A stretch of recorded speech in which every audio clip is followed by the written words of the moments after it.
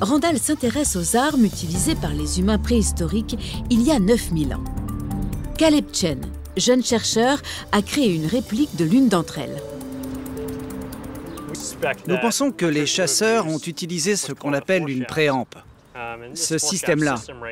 Nous avons une pointe de projectile ici, attachée à cette petite ampe-là. Et oui, c'est probablement ce que les chasseurs-cueilleurs ont utilisé dans le passé. Une lance que les humains préhistoriques projetaient grâce à une arme de jet construite en bois ou en os, le propulseur.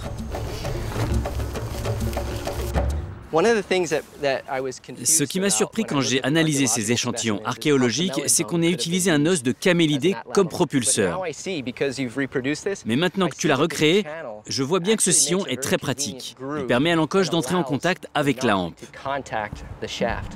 Ok, super. Voyons comment ça marche maintenant. C'est parti. Caleb se place à 15 mètres de la cible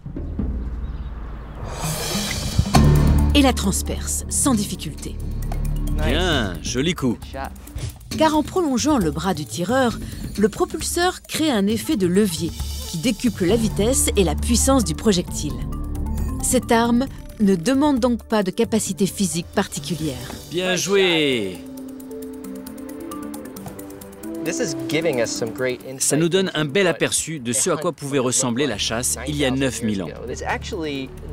Et ce n'est pas une technique incroyablement difficile à maîtriser. Même des individus très jeunes ont pu l'utiliser. Certainement aussi des jeunes filles prépubères.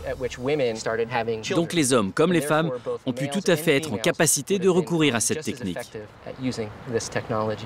Grâce à cette arme, les femmes préhistoriques avaient la capacité de chasser.